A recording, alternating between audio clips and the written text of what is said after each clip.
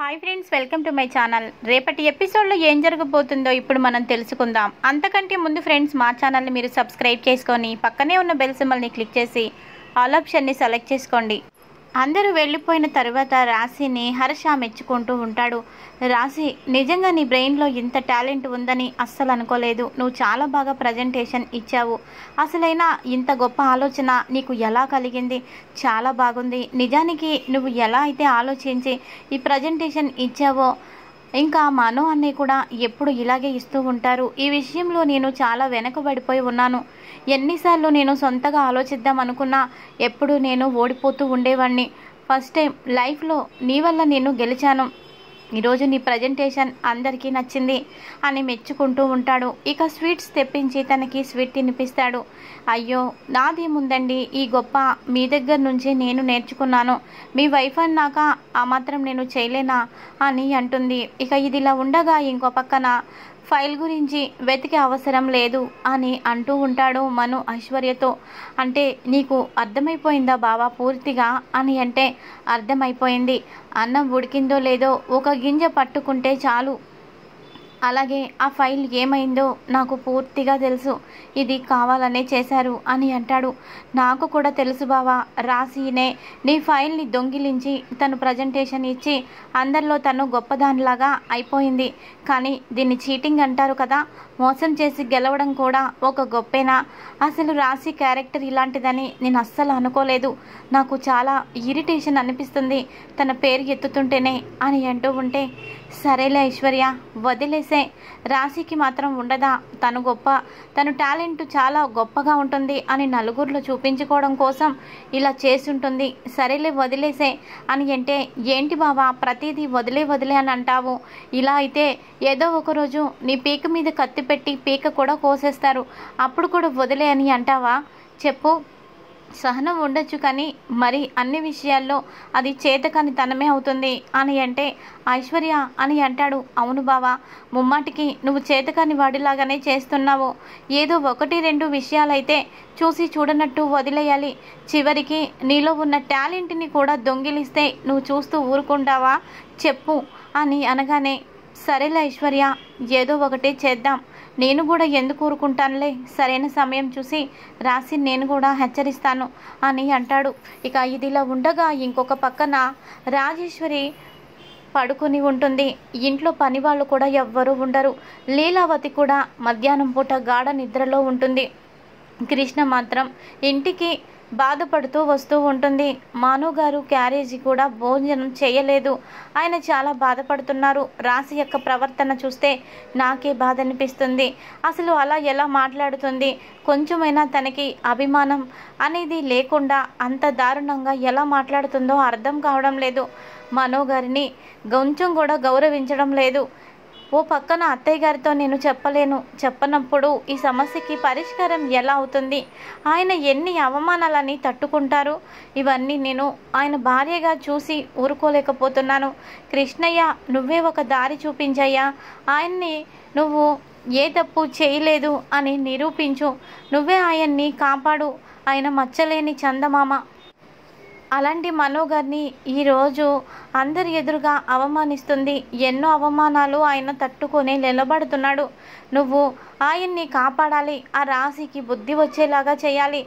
మా రెండు కుటుంబాలు కలిసిపోవాలి ఏ గౌరవం అయితే ఏ హోదానైతే ఆయన కోల్పోయారో ఆ హోదా ఆ గౌరవం ఆ పరువు ఆ మర్యాద అన్ని వాళ్ళంతట వాళ్ళే. ఆయనకి ఇవ్వాలి కృష్ణయ్య ఏ రోజు నాకు ఇది కావాలి అని నీ ముందు నేను వేడుకోలేదు.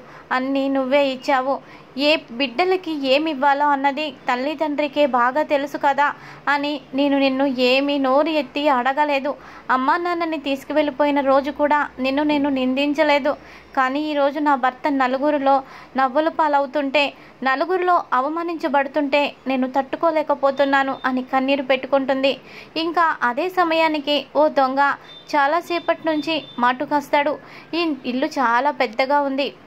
ఈ ఇంట్లో దొంగతనం చేస్తే నా లైఫ్ సెట్ అయిపోతుంది.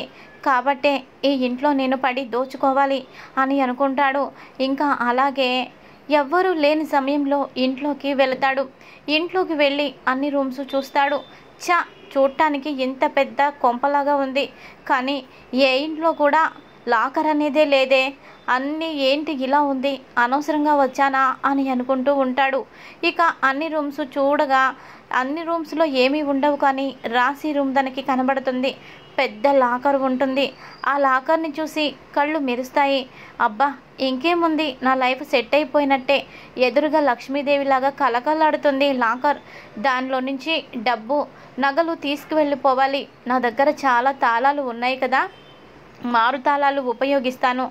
అవసరమైతే నా దగ్గర ఉన్న మిషన్తో ఆ బీరువాని కట్ చేసి బయట ఉన్న డోర్ ముక్క కట్ చేసి డబ్బు ఎత్తుకెళ్ళిపోతా ఎవ్వరికి ఎంత సౌండ్ కూడా రానివ్వను.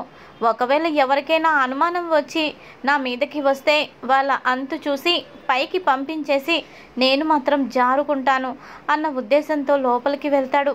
ఇక వెళ్ళగా వెతకబోయే తీగ కాలికి తగిలినట్టు రాసి ఎంతో బాధ్యతారహితంగా లాకర్కి తాళాలు అలాగే పెట్టేస్తుంది. కనీసం ఆ తాళాలు బెడ్ కిందో పర్సులోనో కబోర్డ్లోనో పెట్టకుండా ఆ లాకర్కే అలాగే వదిలేసి ఉంచుతుంది. అబ్బా ఇంకేముంది? ఎవరో మహాతల్లి దండేసి దండం పెట్టచ్చు. నా పని చాలా తేలిక చేసేసింది అని చెప్పి దగ్గరికి వెళ్ళి చకచక ఆ లాకర్లో ఉన్న డబ్బు నగలు అన్నీ దోచుకుంటూ ఉంటాడు.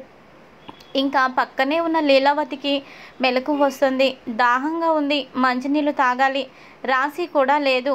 ప్రతిదానికి కృష్ణి పది నిమిషాలకు ఒకసారి వచ్చి అత్తయ్య గారు మంచినీళ్ళు తాగుతారా? కాఫీ తాగుతారా? టిఫిన్ చేస్తారా? అంటున్న దగ్గరికి వచ్చి వెళ్తూ ఉండేది. ఇప్పుడు నేను తనని మాట్లాడొద్దన్నాను కాబట్టే తను కూడా రావట్లేదు అనుకుంటూ నీరసంగా వెళ్తూ ఉంటుంది. ఒక్కసారిగా రాసి తన రూమ్లో దొంగని చూసి షాక్ అవుతుంది. ఇక దగ్గరికి వెళ్ళి దొంగ దొంగ అని అరుస్తుంది. ఇంకా అతను లీలావతి మీద తిరగబడతాడు. తిరగబడి ఈ విషయం ఎవరికైనా చెప్తే ఈ కత్తిని గొంతులో దిగిపోతుంది. జాగ్రత్త అని అనగానే ఏం చేయాలో అర్థం కాదు. అలాగే ఇక అరవటానికి కూడా నోరు పెగలకుండా నోటిని తన చేత్తో గట్టిగా మూసేస్తాడు. మా దొంగల తప్పు కాదు దొంగతనం చేయడం. మీరు ఇళ్ళలో ఇలా బీరువాల్ని విచ్చలవిడిగా వదిలేసి తాళాలని వదిలేస్తున్నారు కాబట్టే ఏ దొంగకైనా చూస్తూ ఊరుకోబుద్ధి కాదు. మీరు జాగ్రత్తలో మీరు లేనప్పుడు మేము చేసే పనులు మేము చేయడంలో ఎంత కూడా తప్పు కాదు.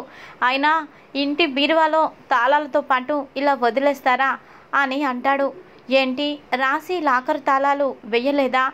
అని మనసులోనే అనుకుంటుంది. నోరు పెగలనివ్వడు. ఇక ఏం చెయ్యాలో అర్థం కాక తన కాళ్ళ దగ్గర ఉన్న ఒక స్టూల్ని తంతుంది. ఆ సౌండ్ విని ఒక్కసారిగా రాసి పరిగెత్తుకుంటూ తన రూమ్లోకి వస్తుంది. దొంగని చూసి తనతో ఎలాగైనా సరే పోరాడి అత్తయ్య గారిని కాపాడాలనుకుంటుంది. ఏ ఎవరు నువ్వు? ఇక్కడి నుంచి వెళ్ళు ఇక్కడి నుంచి వెళ్ళు అని అంటే ఒక అత్తి తీసి కృష్ణని కూడా బెదిరిస్తాడు. దగ్గర దగ్గరకు వచ్చావంటే చంపేస్తాను. ఏమనుకున్నావో? మర్యాదగా అడ్డు తప్పుకోండి నా పనికి అడ్డు తప్పుకోండి అని అంటే పిచ్చి పిచ్చిగా ఉండదు. మర్యాదగా అత్తయ్య గారిని వదిలే దొంగదనాలు చేసి బ్రతకకపోతే వేరే ఏదైనా పని చేసుకొని బ్రతకచ్చు కదా. ఇలా దొంగదనం చేసి ఎన్నాళ్ళని బ్రతుకుతావు? ఇది తప్పని నీకు తెలీదా? అని కృష్ణ చెప్తూ ఉంటే నవ్వుతూ ఉంటాడు. నువ్వు చావు చావాలని నీకు రాసిపెట్టి ఉన్నట్టుంది. అందుకే నాతో వాదిస్తున్నావు అని అంటూ ఉండగా ఇంతలోపు ఒక్కసారిగా దగ్గరికి వచ్చి తన చేతిలో ఉన్న చాకుని పట్టుకుంటుంది. లీలావతిని పొడవబోతూ ఉండగా ఆ చాకుని చేత్తో పట్టుకోబోతుంది. ఇక చేత్తో పట్టుకోవడానికి దొరకదు. తన మణికట్టు మీద బలంగా బలంగా గుచ్చుకుంటుంది కత్తి. రక్తం కారుతూ ఉంటుంది. నొప్పి కలుగుతుంది. అయినా లెక్క చేయకుండా బాగా ఎదిరించి దగ్గర ఉన్న ఒక స్టూల్ తీసుకొని తన వీపు మీద కొడుతుంది. పోలీసులకి ఫోన్ చేస్తాను. ఇలా కాదు అని చెప్పి తన ప్రాణాలంతా పణంగా పెట్టి ఆ దొంగ అక్కడి నుంచి వెళ్ళిపోయేలాగా అత్తయ్యని కాపాడుతుంది. ఇక పోలీసులకి ఫోన్ చేసే సమయానికి ఎవరు చూడకుండా ఎవరికి దొరకకుండా ఆ దొంగ విధవ పారిపోతూ ఉంటాడు.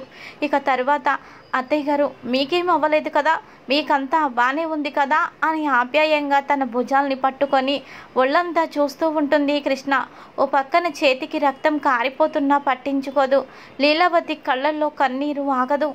అమ్మా కృష్ణ నీకు గాయమైంది. రక్తం కారుతుంది. నొప్పి తెలియడం లేదా? నా గురించే నువ్వు ఆలోచిస్తున్నావు. నీ గాయం నొప్పి నీకు తెలియడం లేదా? అని కన్నీరు పెట్టుకుంటుంది. అదేం చేస్తుంది అత్తయ్య? వాడు మిమ్మల్ని ఏం చేస్తాడోనని నా ప్రాణం అంతా కూడా గుప్పెట్లో పెట్టుకున్నాను. వాడు ఇక్కడి నుంచి వెళ్ళిపోయాక కానీ నాకు ఊపిరి ఆడింది. మీకు ఏదైనా చేస్తాడేమోనని నేను చాలా భయపడ్డాను. అని అంటూ ఉంటుంది. ఇక లీలావతి పశ్చాత్తాపంతో కుమిలిపోతుంది. ఎంత పెద్ద తప్పు చేశాను. ఈరోజు కానీ కృష్ణ వచ్చి నన్ను కాపాడకపోతే వాడు నన్ను చంపేసేవాడు. నా డెడ్ బాడీ గదిలో ఉండేది. నన్ను చంపేసినట్టు కూడా ఎవరికి తెలిసేది కూడా కాదు. ఎంతమంది ఉన్నా అనాథ చావు చచ్చేదాన్ని అని బాధపడుతూ కృష్ణ విషయంలో నేను ఎంత పెద్ద తప్పు చేశానో నాకు అర్థమవుతుంది అని బాధపడుతూ కృష్ణని గట్టిగా వాటేసుకుంటుంది. ఇక వాటేసుకొని గబగబా కిందకి వెళ్ళి మందులు తీసుకువచ్చి చేతికి కట్టుకడుతూ ఉంటుంది. ఈ విషయం అక్కడే ఉన్న మహేశ్వరికి కూడా తెలుస్తుంది మహేశ్వరి వచ్చి ఏమైందక్క కంగారు పడుతున్నావు? అని అంటే ఇంట్లో దొంగ పడ్డాడు వాడు నన్ను చంపబోయాడు రాసి అడ్డం వచ్చింది రాసి చేతికి గాయమైంది అని కన్నీరు పెట్టుకుంటూ చెప్పడంతో అక్క నీకేమీ కాలేదా? ఎంత జరిగినా నాకెందుకు చెప్పలేదు? అని కంగారుగా వచ్చి కృష్ణని చూస్తుంది. కృష్ణని చూసి కృష్ణ చేతికి కట్టుకడుతూ ఉంటారు ఇద్దరు కూడా. ఏమైంది కృష్ణ? ఏమైంది ఇంతకీ? అని అంటే ఏమో చిన్నత్తయ్య గారు ఒక దొంగ ఎప్పటి నుంచో మాటుగాసినట్టు ఉన్నాడు. ఇంట్లోకి వచ్చాడు. రాసి అక్క ఉన్న రూమ్లోకి దూరి బంగారాన్ని నగల్ని ఎత్తుకెళ్ళబోయాడు. సమయానికి అత్తయ్య గారు వచ్చి అడ్డుకున్నారు. కానీ అత్తయ్య గారి ప్రాణాలనే తీసేయాలనుకున్నాడు. అప్పుడు నేను ఆవిడ్ని కాపాడాను. ఆ కాపాడే క్రమంలో నా చేతికి గాయమైంది అని చెప్పడంతో ఇక లీలావతి అంత నిజమే క్రి- రా నిజమే రాక రాసి చెప్ కృష్ణ చెప్పిందంతా నిజమే. కానీ ఈ విషయంలో నా కోడలు తప్పు కూడా ఉంది. లాకర్ తాళాలు అలాగే వదిలేసి వెళ్ళిపోయింది. రోజులు అసలే బాగోలేవు. అంత బాధ్యతారహితంగా ఉంటుందని అస్సలు అనుకోలేదు. ఈరోజు తన బాధ్యత రాహిత్యం నా ప్రాణాలని బలిగొలిపేది అని బాధపడుతూ ఉంటే అక్కయ్య నీకేమీ కాలేదు కదా అని అంటూ ఉంటుంది. ఇంకా ఇదిలా ఉండగా ఇంకో పక్కన హర్ష ఆఫీస్ నుంచి ఇంటికి వెళ్ళిపోదామని వస్తూ ఉంటాడు. అలా వస్తూ ఉండగా తన చెత్త బయట ఉన్న డస్ట్బిన్లో అక్కడ ఒక ఫైల్ కనిపిస్తుంది. ఏంటి? ఇదేదో ఇంపార్టెంట్ ఫైల్ అనుకుంటా కదా? ఇవి ఎక్కువ మన మా అన్నయ్య మనునే వాడే ఫైల్స్. డస్ట్బిన్లో ఉందేంటి? అని వెళ్ళేవాడల్లా ఆగి మరి ఆ డస్ట్బిన్లో ఉన్న ఫైల్ని ఓపెన్ చేసి చూస్తాడు. అది చూడగానే ఒక్కసారిగా షాక్ తింటాడు. ఏంటి? ఇందులో ఉన్న కొటేషన్ మొత్తం రాసి ఇందాక అందరికీ చెప్పింది కదా? ఇది మనో అన్నయ్యదా మనో అన్నయ్య ఫైల్ డస్ట్బిన్లో వేసేశారు ఎవరు? అసలు ఇందులో ఉన్న మ్యాటర్ రాసి ఎలా చెప్పగలిగింది? అని ఒక్క క్షణం ఆలోచిస్తాడు. అందుకేనేనా మనో అన్నయ్య ప్రజెంటేషన్ ఇవ్వమంటే రాసి చెప్పింది బాగుంది అని వదిలేశాడు. ఏదో జరిగింది ఎక్కడో ఏదో పొరపాటు జరిగింది తెలుసుకోవాలి అని చెప్పి తిన్నగా మనో దగ్గరికి వస్తాడు. అన్నయ్య నిన్నోటి అడుగుతాను సూటిగా చెప్పు. నువ్వు దేని గురించైనా వెతుకుతున్నావా? అని అంటే అబ్బే అదేమీ లేదు అని అంటాడు. ఇంకా తన చేతిలో ఉన్న ఫైల్ చూపించి ఈ ఫైల్ నువ్వు పోగొట్టుకున్నావా? అని అంటే "ఆహా, అవును కానీ నీకెక్కడ దొరికింది? అని అంటే ఎవరో దీన్ని డస్ట్బిన్లో పడేశారు. ఎవరో కాదు నా భార్య రాసినే అయి ఉంటుంది. అని అంటాడు. అయ్యో అదేమీ లేదు హర్ష. టైం అయింది. నువ్వు ఇంటికి వెళ్ళు వెళ్ళు వెళ్ళు అని అంటూ ఉంటాడు. అన్నయ్య వట్టేసి చెప్పు. ఈ ఫైల్ నిజంగా నువ్వు పోగొట్టుకున్నావా? ఎవరైనా తీసుకువెళ్ళారా? ఈ ఫైల్లో ఉన్నది నువ్వు చెప్పాలనుకున్నావు కదా కానీ రాసి చెప్పింది. అని అంటే మౌనంగా ఉంటాడు. నువ్వు చెప్పవన్నయ్యా కానీ నాకు అర్థమైంది. రాసిని నేను అడుగుతాను. రాసి ఇంత మోసం మరోసారి చేస్తుందని అనుకోలేదు. మను అన్నయ్య రాసిన కొటేషన్ తీసుకొని తను ఎలా చెప్పగలిగింది? తను ఎలా ప్రజెంటేషన్ ఇవ్వగలిగింది? ఇది మోసం కాదు. ఇది అన్యాయం కాదు. మోసం చేసి ఇలా పైకి రావడం నాకు అస్సలు నచ్చదు. ఏదైనా నేను సహిస్తాను కానీ మోసాన్ని నేను సహించను. రాసి మరోసారి నన్ను మోసం చేసిందా అని అనుకుంటూ కోపంతో ఇంటి దగ్గరికి వెళ్తాడు. ఇక లీలావతి కంగారుగా ఉంటుంది. భర్త బిడ్డ ఎప్పుడు వస్తారా అని ఎదురు చూస్తూ ఉంటుంది. ఇంతలోపు వాళ్ళిద్దరు రాగానే ఏవండి? అంటూ వాళ్ళ హస్బెండ్ని పట్టుకొని ఏడుస్తూ ఉంటుంది. ఏమైంది లీలావతి? ఏమైంది ఇలా కన్నీరు పెట్టుకుంటున్నావు? అని అనగానే ఏవండి ఈరోజు చాలా పెద్ద గండమే గడిచింది. ఈ పాటికి నా శవం మీరు చూసేవాళ్ళు అని అంటే అదేంటమ్మా అలా మాట్లాడుతున్నావు? ఏమైంది? అని కంగారుగా హర్ష అడుగుతాడు. ఏం జరిగిందా? ఇంట్లో ఎవరు లేని సమయంలో ఓ దొంగ పడ్డాడు. వాడు డబ్బు నగలు తీసుకువెళ్ళిపోతూ ఉండగా నేను అడ్డుకున్నాను. వాడు నన్ను చంపబోయాడు. ఆ సమయంలో కృష్ణ తన ప్రాణాన్ని పణంగా పెట్టి నన్ను కాపాడింది. ఈరోజు కృష్ణ లేకపోతే మీ కళ్ళ ముందు నేను ప్రాణాలతో ఉండేదాన్ని కాదు. ఖచ్చితంగా నేను చనిపోయేదాన్ని. నన్ను కాపాడింది ఈరోజు కృష్ణే. ఈరోజు నా ప్రాణాలకి పునర్జన్మ ఇచ్చింది ఆ కృష్ణే. కృష్ణ రుణం ఏమిచ్చినా తీరదు. నా ప్రాణాలను కాపాడిన శక్తి అని అంటూ ఉంటుంది.